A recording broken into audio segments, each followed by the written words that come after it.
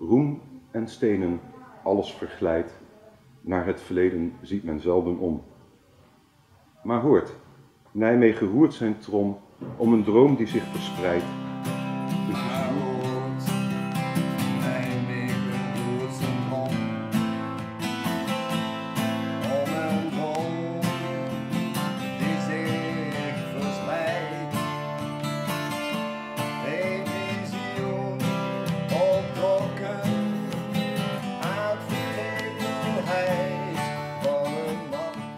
Een machtig oprijzend donjon. Straks zal hij daar weer staan, even trots en sterk als voorheen. zal hij daar weer staan. Even trots en sterk als voorheen. Maar al lijkt geen tijd ongeveer een jaar geleden, Remy, toen ehm, benaderde Rob de Waal, die speelt in Bent benaderde mij eh, als dichter, Nijmeegs dichter, benaderde mij omdat hij mijn gedichten erg mooi vond. En hij wilde ze graag op muziek zetten. Op een bepaald moment eh, werd een gedicht van hem door de accordeonist van de Roleros, waar ik, eh, waar ik lid van ben, op muziek gezet, spontaan een keer in het café. Ook, En Mark die was er helemaal verguld van, die, die moest zelfs een traantje wegpinken. Toen hebben wij, eh, heb ik hem een stapeltje gedichten gegeven. En daar mocht hij een selectie uitmaken. Want niet elk gedicht wat je schrijft is altijd even, even geschikt voor muziek. Moet, een gedicht moet een bepaalde cadans hebben. Daarbij moest het thema natuurlijk ook enigszins eh, ja, redelijk snel te verhappen zijn voor een luisteraar. Dus, dus gewoon mooie, kleine, kleine, goed verstaanbare thema's. En ik denk dat eh, Rob de Waal als, als, als componist daar erg in geslaagd is. Ja.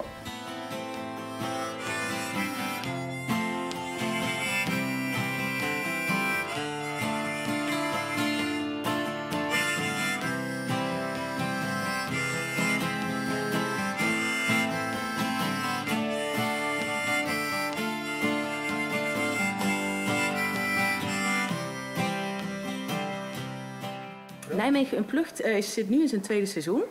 Iedere derde donderdag van de maand, donderdagavond, is er akoestische muziek in de bibliotheek. Met eh, nou ja, de artiesten die we net gezien hebben. Hoe vinden de bezoekers het?